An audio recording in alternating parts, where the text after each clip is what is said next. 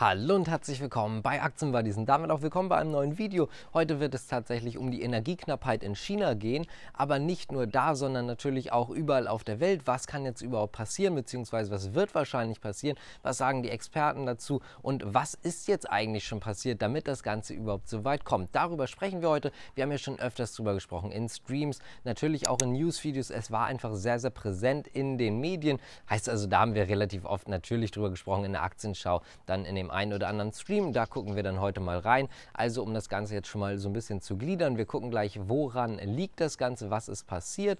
Danach gucken wir, was könnte jetzt in Zukunft passieren. Da kommen wir auch so ein bisschen in diesen Konflikt zwischen Taiwan und China. Das werden wir zumindest anschneiden, ganz einfach deswegen, weil das noch so ein bisschen auch dazugehört. Und zu guter Letzt gucken wir, was kann bei uns eigentlich passieren, beziehungsweise nicht, was jetzt bei uns mit dem Strom passieren kann, sondern was könnten die Auswirkungen von der Gesamtsituation sein, weil einfach auch natürlich natürlich die Gas- und auch die Ölpreise extrem angestiegen sind, aber auch natürlich generell Energiestrompreise und so weiter und so fort.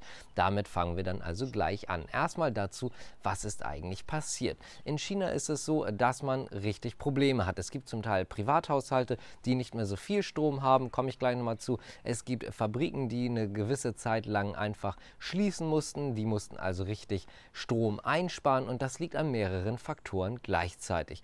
Punkt 1, man möchte gerne in China klimaneutral werden und das bis 2060. Dafür hat man einen relativ ich sag mal, strammen Plan, auch wenn das jetzt gerade bis 2060 vielleicht nicht so klingt, als wäre der Plan sehr stramm, aber er ist letztendlich relativ stramm und das ist natürlich ein Faktor, denn da möchte man gerne Energie einsparen. Und wie macht man das, wenn immer mehr Wachstum da ist? Da muss man halt was wegschalten, wenn man wirklich aktiv was einsparen will. Anders geht es nicht oder man kommt halt so ein bisschen auf erneuerbare Energie, da wird auch extrem viel ausgebaut, nur es reicht halt schlichtweg noch nicht aus. Außerdem hat man aktuell noch das Ziel, zu den Olympischen Spielen so ein bisschen zu zeigen, wie rein die Luft in China eigentlich ist. Ihr kennt das, diese ganzen Smogwolken und so weiter. Das möchte man natürlich möglichst verhindern oder da ein wirklich gutes Image hinlegen, beziehungsweise einfach wirklich präsentieren und einfach zeigen, okay, die Luft hier ist gar nicht so schlecht, das Ganze ist relativ rein. Das also nochmal zusätzlich dazu. Heißt also bis 2060 Klimaneutralität, das müssen wir uns einmal merken. Auf der anderen Seite haben wir, wie ich gerade schon erwähnt hatte,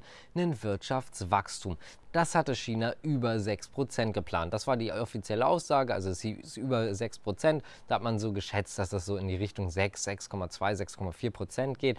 Also sonst hätte man wahrscheinlich über 6,5% gesagt. Deswegen so in diesem Bereich, so zwischen 6 und 6,5%. In diesem Bereich sollte man sich eigentlich befinden. Das war zumindest der Plan von China. Nun ist aber alles relativ schnell wieder geöffnet. Oder was heißt relativ schnell? Das ist ein bisschen natürlich Ansichtssache. Aber das Ganze ist eigentlich wieder sehr, sehr stark hochgefahren. Die Wirtschaft ist ist auch wieder sehr stark hochgefahren. Und genau damit kommen wir zum nächsten Problem. Wir wollen auf der einen Seite natürlich die CO2-Neutralität bis 2060 haben. Dafür hat man spezielle Ziele, dafür hat man bestimmte Ziele, wie viel man einsparen möchte, wie viel man mit neuer erneuerbaren Energie erreichen möchte. Auf der anderen Seite ist die Wirtschaft jetzt stärker gewachsen, denn man kann ja erkennen, dass, wie ich gerade schon erwähnt hatte, das Wirtschaftswachstum doch sehr, sehr stark ist. 8,2 bis 8,4 Prozent waren die Analystenschätzung. Jetzt ist man dort so ein bisschen runtergegangen in Richtung ja, 7,6 bis 7,8 Prozent. Aber auch das liegt natürlich massig über den 6 Prozent oder über den etwas über 6 Prozent. Und da kommen wir dann natürlich einfach zu diesem Problem, was ich gerade schon erwähnt hatte. Wir haben auf der einen Seite das Wachstum, auf der anderen Seite wollen wir es einsparen und man ist einfach von weniger Wachstum ausgegangen. Das ist halt irgendwo auch so ein kleines Problem und dementsprechend ist das so ein bisschen Punkt 2. Und wir kommen dann auch gleich nochmal dazu, warum der Kurs dann oder die Preise so hochgegangen sind. Da ist nämlich China auch so ein bisschen aktiv schuld dran. Aber davor gehen wir nochmal ganz kurz zum nächsten Punkt und zwar Taiwan und China. Die sind ja im Clinch. Ihr wisst das vielleicht. China will Taiwan wieder zurückhaben, um das jetzt mal freundlich auszudrücken. Und letztendlich ist es so, dass man auch öfters mal gegen die Luftraumgesetze verstößt. Das heißt, dass mit Kampfjets ist man eigentlich auf der taiwanesischen Seite schon. Da provoziert man eigentlich ein bisschen.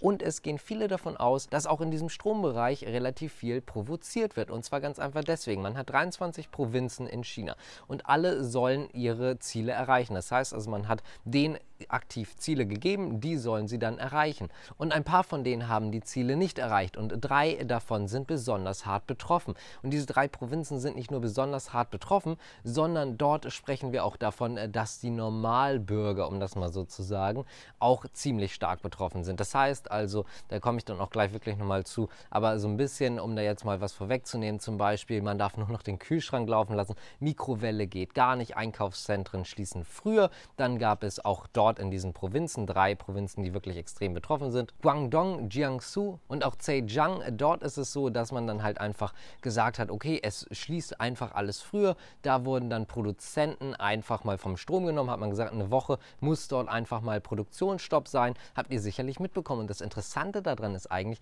dass ausgerechnet in diesen drei Provinzen extrem viele taiwanesische Zulieferer sind, beziehungsweise extrem viele taiwanesische Firmen angesiedelt sind. In diesen drei Provinzen sind zum Beispiel extrem viele Halbleiterfirmen. Nur mal ganz kurz, damit man sich das vorstellen kann, weil ich jetzt sage, extrem viele Halbleiterfirmen. Ihr müsst euch das visuell mal so vorstellen, dass alleine nur in diesen drei Provinzen 30 Prozent aller Halbleiter in China produziert werden. Also von den chinesischen Halbleitern, alles was dort produziert wird, einfach knapp 30, sogar etwas mehr, 33 Prozent, also ungefähr ein Drittel wird alleine dort in diesen drei Provinzen produziert. Und wenn wir dann uns auch noch angucken und dazu jetzt einmal sagen, da sind viele taiwanesische Zulieferer bzw. viele taiwanesische Firmen und damit auch taiwanesische Chefs und so weiter, dann ist das irgendwo so ein bisschen komisch oder hat auch noch einen negativen Beigeschmack. Da muss man sagen, klar, dort wird auch viel verbraucht, aber das ist in anderen Bereichen auch so. Gerade die Industrie, auch zum Beispiel Bau, Aluminium und so weiter, verbraucht auch extrem viel Strom.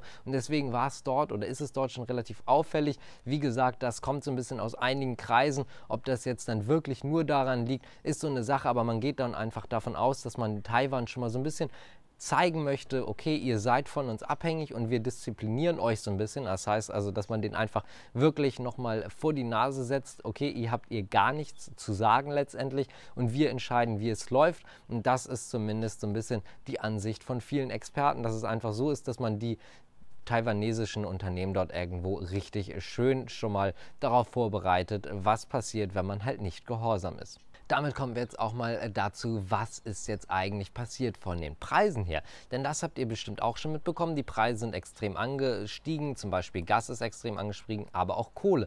Und da habe ich ja gerade schon erwähnt, China trägt selber ein bisschen dazu bei. Und wie meine ich das? Es ist letztendlich so, dass man Kohle hat. Ja, man hat viel Kohle, man baut auch viel Kohle ab, aber man hat so ein kleines Problem. Und zwar heißt das Problem Energieversorger und dass tatsächlich Strompreise gekappt sind. Strompreise sind deswegen gekappt, weil es halt ein Volk und man möchte diesem Volk halt nicht für zu viel Geld den Strom anbieten. Das heißt also, wir haben auf der einen Seite das Volk, was einen gekappten Strompreis hat im Prinzip.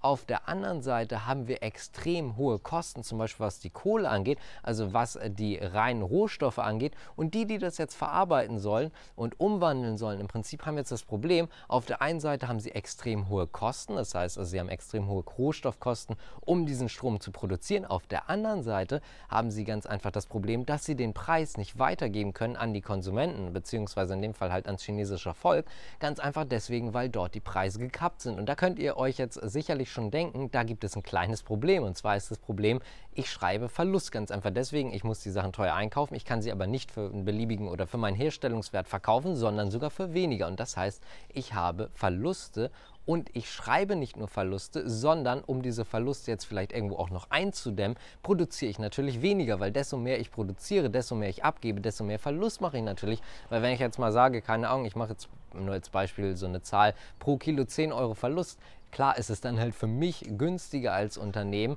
wenn ich jetzt nur ein Kilo abgebe und 10 Euro Verlust mache, als würde ich jetzt 100 Kilo abgeben und jetzt halt dementsprechend 1000 Euro Verlust machen. Denke ich mal, klingt logisch. Jetzt ist halt einfach das Problem, dass China auch die Produzenten angewiesen hat, mehr zu produzieren. Die wollen aber halt nicht, weil sie einfach extrem viel Verlust machen. Und damit kommen wir jetzt auch noch zum weiteren Punkt. Heißt also, wir haben jetzt nicht nur das Problem, dass eh schon sehr, sehr viel Nachfrage da ist und immer mehr mehr Nachfrage dazukommt, sondern wir haben auch das Problem, dass das Angebot immer kleiner wird, weil das immer weiter weggedrosselt wird. Und das heißt halt einfach, dass wir alleine nur aufgrund dieser Tatsache schon steigende Preise haben, zudem, dass sich die Wirtschaft einfach stärker entwickelt. Dann haben wir gedrosseltes Gas, zum Beispiel aus Russland und so weiter. Also wir haben insgesamt einfach deswegen steigende Preise und die bekommt man jetzt gerade zu spüren. Und jetzt kommen wir mal zu dem chinesischen Volk, was ich gerade schon gesagt habe, oder auch den Konsequenzen in China. Wenn euch das Ganze gefällt, ganz kurz aber einmal zwischendrin, dann könnt ihr gerne abonnieren, ihr könnt mal liken. Auf jeden Fall mal auf unserer Internetseite vorbeigucken, da kommen die News immer sogar vor dem News-Video